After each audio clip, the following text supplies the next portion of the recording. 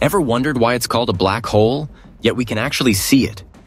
If not even light can escape, how did we get that famous photo? Stick around. The answer might bend your mind like space itself. Black holes have gravity so strong that nothing, not even light, can escape their pull. That means any light that gets close either vanishes or gets warped. Some physicists say even space and time bend near them.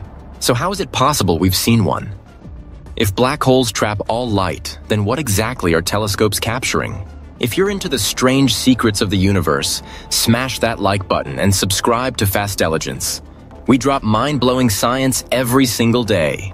The answer lies in the accretion disk, a glowing ring of matter spiraling into the black hole. As this gas heats up, it emits intense light and radiation. Even crazier?